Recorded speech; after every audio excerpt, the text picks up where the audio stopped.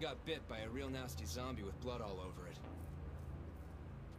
Yeah, Excuse normal me, loud meds won't help. right. Better head to the S&B. and pray the doc still has what you need. Tell her I sent So you. is there a cure then? Is that what that means? Ah! dude, I don't need zombies to kill me. I just need a fucking tall heights, dude. That's all I need. Who needs that? Who needs zombies to kill themselves, right, dude?